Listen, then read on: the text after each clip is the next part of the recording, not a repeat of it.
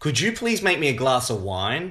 Ah, uh, sure, no problem. First, I'll unbox this game called Viticulture. I'll place my worker on the field to plant this vine. I place another worker to harvest a field, to crush the grapes on the crush pad. I'll fill your wine order from my wine cellar. Presto,